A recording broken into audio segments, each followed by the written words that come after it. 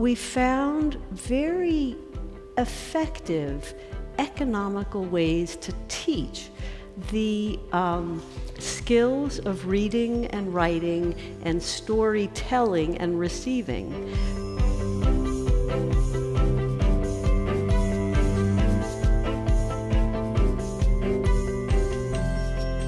These narrative storytellings help us to form clearings.